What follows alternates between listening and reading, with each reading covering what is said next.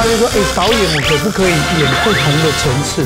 因为脚的痛呢，跟肚子的痛是不一样的，所以他打他走的时候，哎呦，哦，哎呦。所以如果脚痛、肚子痛，在头被打一下，要演出三种不同的痛吗？要很快的把它演完，但是要人家观众看到你有几个层次。所以你给达叔指导一下。好好。今天晚上十点，中天综合台，恭喜来了。